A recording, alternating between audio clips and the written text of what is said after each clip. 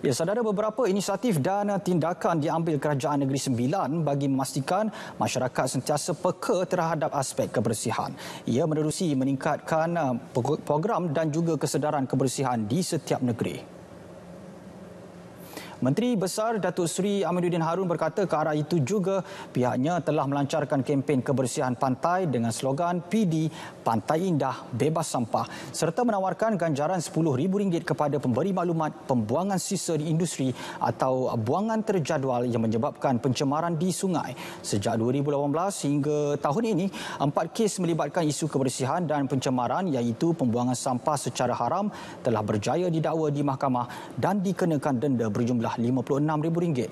Beliau berucap pada program World Cleanup Day serta pelancaran kempen Negeri Sembilan Bersih di Taman Malaysia Seremban.